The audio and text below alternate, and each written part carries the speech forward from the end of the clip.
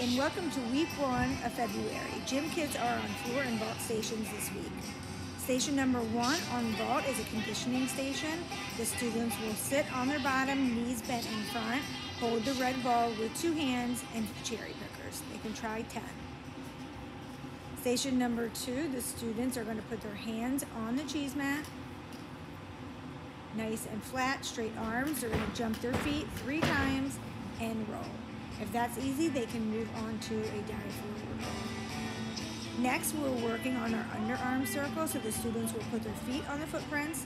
They're going to circle their arms backwards and toss the puff, puff balls towards the cheese.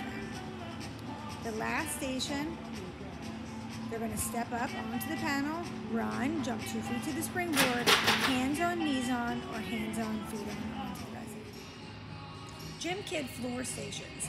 Station number one, the students are going to start with their feet together on the first circle, jump open, feet on the stars, and then jump together, and then again jump back with a little squat, and feet together again.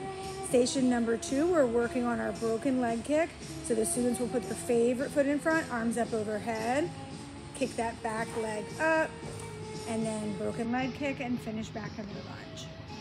Station three is a straddle press drill.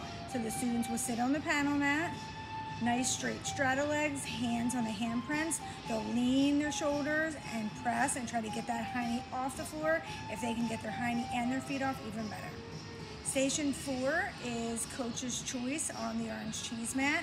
The students can do forward rolls, backward rolls, straddle rolls, or even back bend kickovers. Have a great week.